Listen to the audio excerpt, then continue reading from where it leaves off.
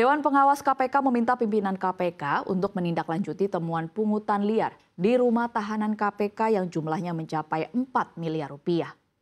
Anggota Dewan Pengawas KPK Albertina Ho mengungkapkan pungutan liar dilakukan terhadap para tahanan di rutan KPK terkait nominal 4 miliar rupiah menurutnya terjadi pada periode Desember 2021 hingga Maret 2022. Bahkan jumlah ini berpotensi bertambah. Lebih lanjut ia menjelaskan pungutan liar diterima dalam bentuk setoran tunai hingga transaksi yang melibatkan rekening pihak ketiga.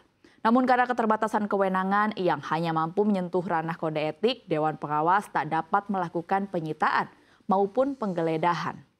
Laporan ini telah diserahkan kepada pimpinan KPK sejak 16 Mei 2023 yang lalu oleh Dewan Pengawas guna menindaklanjuti unsur pidana. Sudah diketahui juga kira-kira dalam bentuk apa uh, pembayaran apa pungutan-pungutan itu dilakukan, ada berupa setoran tunai, semua itu menggunakan rekening pihak ketiga dan sebagainya.